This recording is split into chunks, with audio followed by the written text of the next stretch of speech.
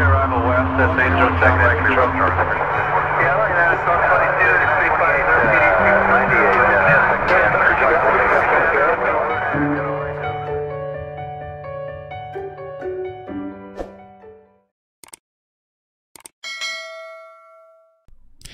everyone, welcome. My name is J. Pestridge and welcome to another P3D video.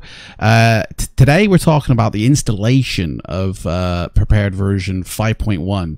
Uh, if you're a new user to version 5, if you're coming off 4.5, or an upgrade if you're on version 5.0 and you're upgrading to version 5.1.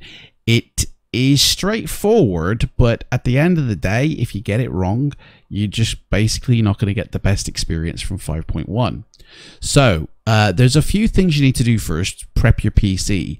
First off, bring up a command prompt, right? And run it as administrator. And in this command prompt, type in sfc forward slash scan now and just let that run a scan on your PC. What this is basically is Windows uh, 10 operating system checking the verification of itself, um, checking the files to make sure that they're all uh, not errored or corrupt. It's so easy for a Windows update to become corrupt or even section of your hard drive to corrupt the uh, operating system itself. So what you want to do is you want to run this scan three times. If it comes back and it says nothing, run it again. If it still says nothing, run it a third time. And if it still says nothing, you most likely your operating system, the software, is fine. Um, and you won't have any problems from that. Um, if it does come back with any errors, it will actually fix it itself. It will replace broken files and it will um, just sort itself out basically. You won't have to do anything but hit enter. So leave that to run that. Uh, another thing to do is head into your back office as it were. Uh, go to update and make sure your windows updates are absolutely fine.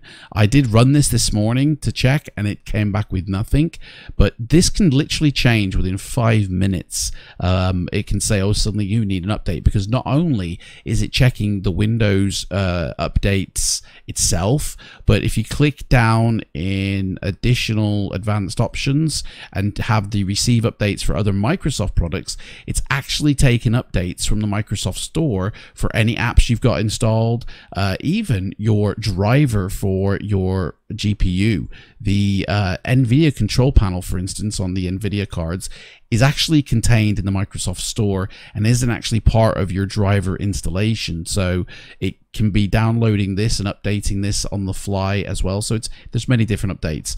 Another thing to update is obviously your uh, NVIDIA or your your GPU driver, making sure that that is up to date and um, that is current making sure this is up to date and making sure this is current. You can even check for updates here, making sure you have the game ready driver as well. Um, unless you are a developer and you use like Photoshop or Adobe Premiere or any other developer tools like constantly, you will use the game ready, uh, game ready driver. The studio driver is like it says, just for creative applications. Um, so if you're a developer or a, a creator and you use those types of tools, then you will download the studio driver.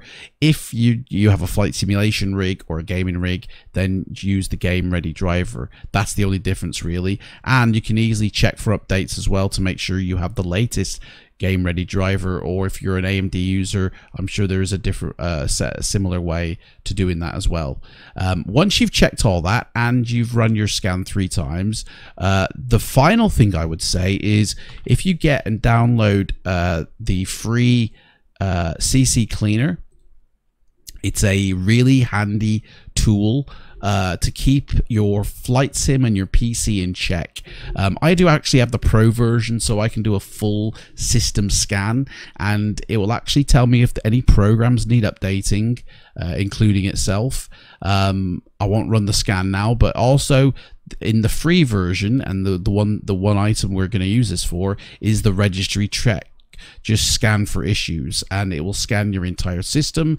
And if there's any problems with paths, like here we go, it's found these unused file extensions, it will delete them. It will remove them. Now, I'm not going to execute this now because we're running out at the same time. A uh, This is still going. So there you go.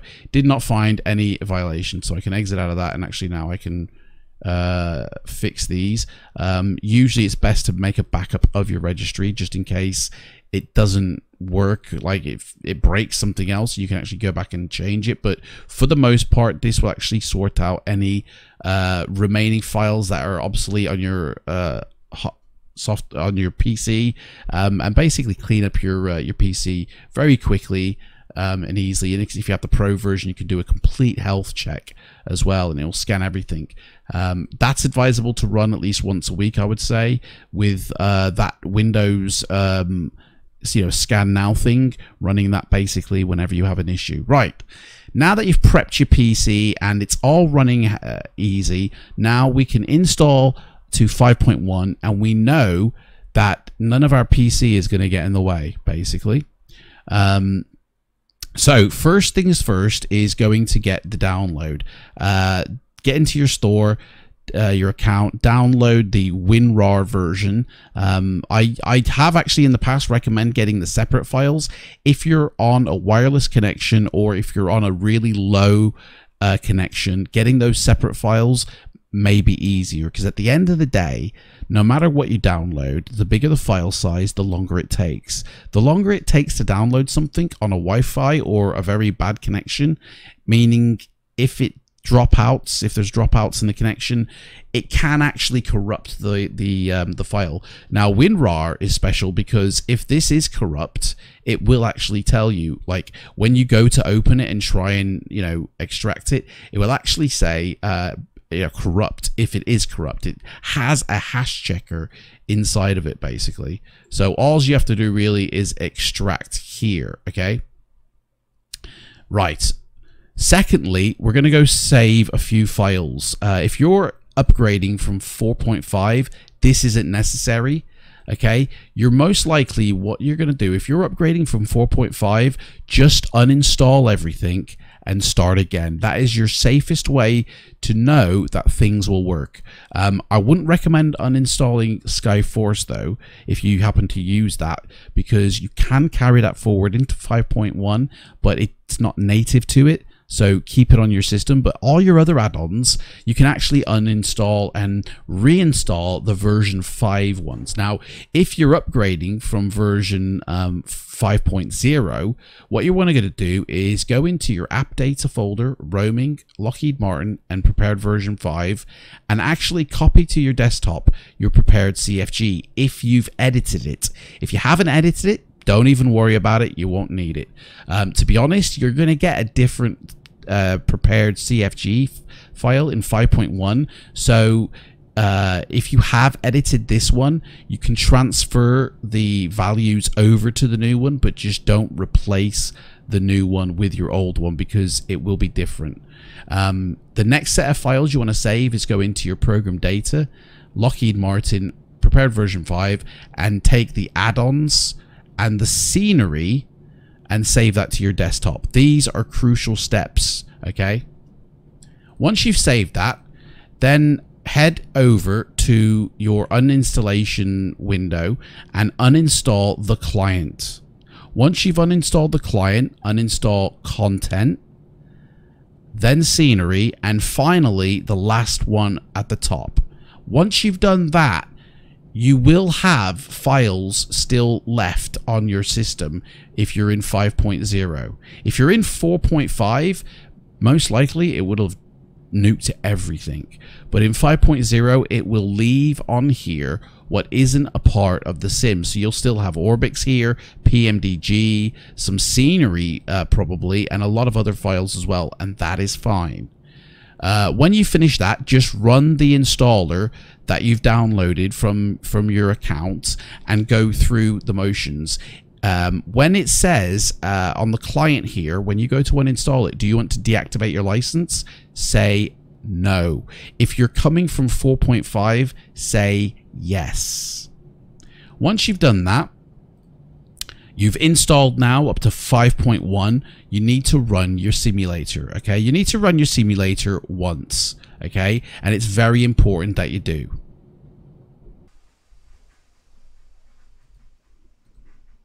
So it's very important that you run your sim once, okay? Because it's going to build files uh, that are crucial um, during that first run up. And it doesn't have to be anywhere fancy. You can literally load the default flight in. Then once you've done that, exit out of your simulator and restart your PC, okay?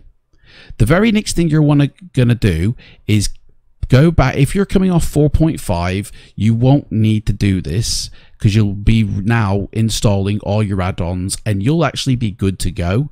You'll just need to do some other things in Orbx, which I'll go through in a second.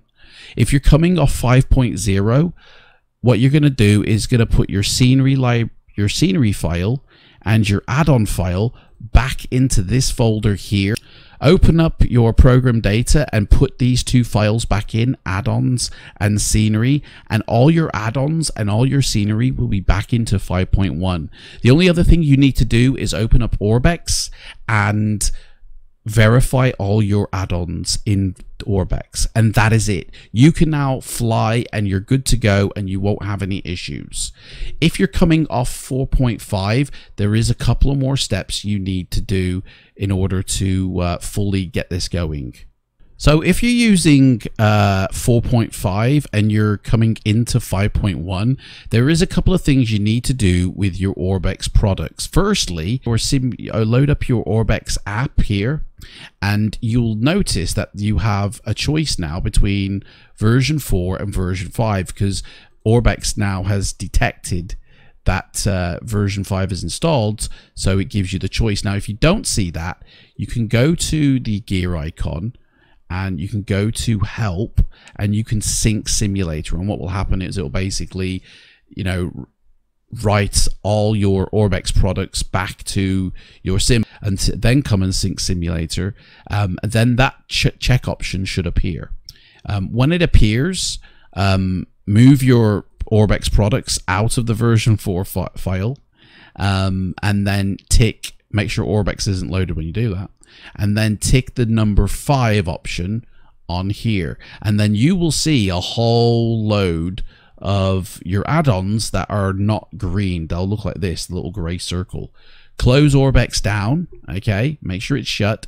Take all your add-ons that you've moved from version 4 and pop them into this newly created folder called version 5 and just add them into there. And then when you load up Orbx next, again, sync your simulator and all your Orbx products will now be in your sim. All you need to do is go into Orbx, load it up, and head to your global areas and just verify the files.